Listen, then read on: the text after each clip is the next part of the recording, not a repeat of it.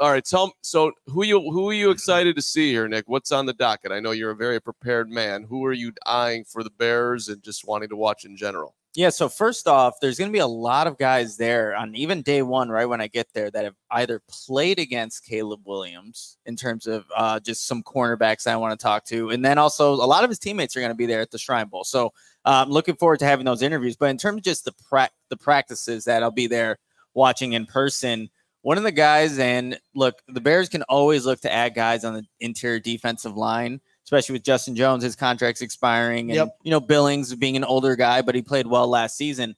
A guy, Leonard Taylor from Miami, you guys, interior defensive lineman. He didn't play a lot of three tech, but I think he's definitely capable of it. When I was watching his games, the get off is there, something that you want to have if you're going to have a dominant um, three tech position. But a guy that when you talk to the, the, the Shrine Bowl director Eric Galko, he said this guy could be a first round talent. So anytime you get that level of play in one of these kind of um, all star games, you're going to be highlighting them. Another guy, and I want to see Mark if this name, if, if, if you know him, Malik Washington. Of course, I know Malik okay. Washington, the former Wildcat transfer to Virginia. Little undersized, but has some speed, and he's, he's he's blown up at Virginia. Yeah, he definitely has, and that it probably goes against the the model type of wide receiver that the Bears want to have, one of the bigger guys, but productive, can run all the routes, and he's just really tough, you guys. Oh, Whether we're gonna get another small guy, come on. Yeah, Stop but it. they just need guys that will catch the ball. They need guys yeah. that will catch the okay. ball. But he's someone that I'm going to be looking forward to watching, especially in the one on ones. And he did lead the FBS in receptions and don't, fourth in receiving yards. Don't listen to Lawrence dogging Malik Washington. Let's draft another five eight receiver. Cool. That's that's really worked out so well for us. The there's there's going to be some big guys too. I think there's going to be more of those bigger wide receivers in the Senior Bowl, which I'll also be going to. Yep. But a guy that I'm going to be highlighting and watching uh, throughout my time in Frisco, Texas.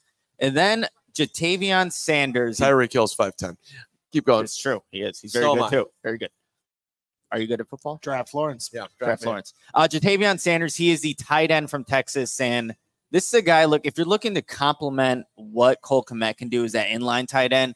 Ja'Tavion's going to be more of that receiving receiving threat. He was look most targets without a drop, 67 in Texas, had 45 receptions, 682 yards. He gets a lot of yards after the catch. If you're asking him to block, that's probably not the best way to utilize him, but he is a guy that will stretch the field vertically. And if you're just looking at different types of weapons, whether it's Justin Fields or Caleb Williams or whoever is a quarterback in 2024, that's going to be another guy that I'm looking forward to watching because he really runs like a big wide receiver, but he is he is a tight end, and if he can just work a little bit on his blocking, then you get a guy that can really be just a threat in the run game, can obviously stretch you vertically, but is somebody that could definitely help a football team in 2024 biggest need for the Chicago Bears to come out of this draft with? I think you need to address the center position. Um, if they're not going to go that the free agency route, like you need to come away with a center that's going to be not just there to you know help the 2024 season, but someone that you can have there long term.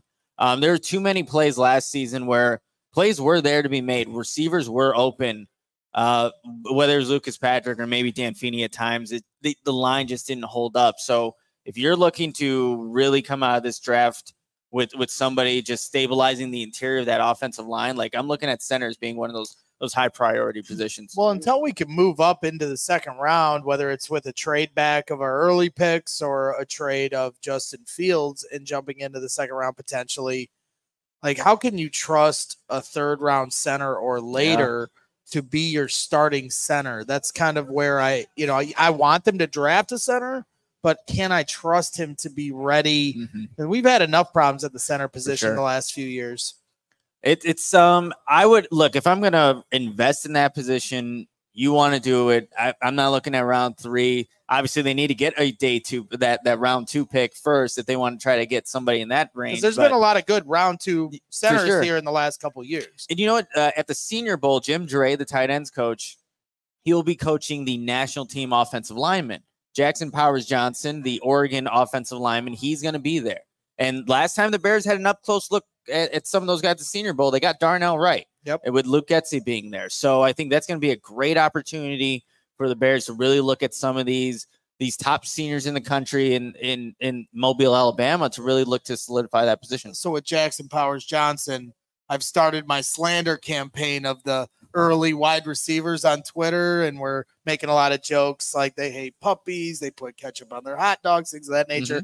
Well, somebody came in the comments and said Jackson Powers Johnson hates puppies, and Ah. his mom came into the comments and was like, "Not the puppies." So we're, hilarious. already in her ear. Future Bear Jackson Powers Johnson making some headway with Mama Mama Powers Is, Johnson. is there literally anything in your life that can bring you more joy than when your stupid things on Twitter gets all the way to, to a player's mother? Nothing. Nothing. You're, you're being talked about at the Powers Johnson dinner Yes. table. Yep. There's Yep. some guy on Twitter. His name's Greg Braggs. He works for something called And we're, we're, we're, If we're, the family, if their we're family's down there, sabotaging his draft stock. if they're there in Mobile, I'm so gonna bring you. yeah, up. bring it up. Bring it up. puppies. We, we we had a nice little exchange. I, I want to re-ask the question though, or at least quibble with you guys. You really don't think center of all the things Gary I- Ross the Bears need? I would say wide receiver. okay, That's my answer. They can We right now with, with Darnell Mooney on the Oh. way out. Yeah, of course they need a center. Um, but I would say wide receiver. When you got Shane Waldron coming in and you look at the wide receivers they had, Ben Fennell just pointed out, you know, the type of wide receivers he thinks would fit well in this offense. Right now, you just have DJ Moore.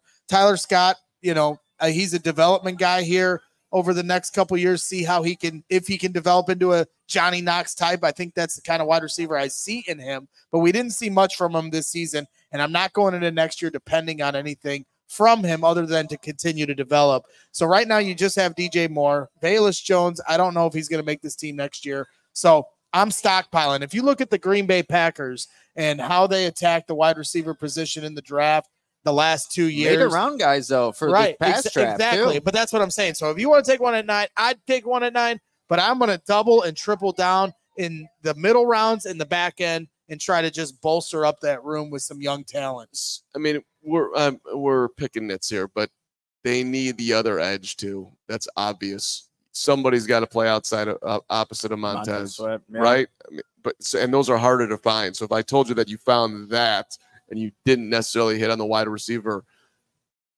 that would I mean, you, look, you, so you'd rather have the wide I'd, receiver. I'd rather have the wide receiver over got the edge player because Okay. that defense was generating some pressure, but that's still going to be a, a need that needs to be solidified because they kind of had a rotating door. You're not going to have uh, Yannick Ngakoue back most likely. His his deal is going to be up, and then you have, you know, you had Demarcus Walker out there towards the end of the season, and he's a versatile guy, but you know that that defense collectively they have some playmakers on there. So if they don't necessarily get the stud edge rusher, but they do get the a guy at wide receiver opposite DJ Moore, I think Bears fans are going to be feeling a lot better about themselves um, with how Ryan Poles approached this draft. We all silly like the mayor.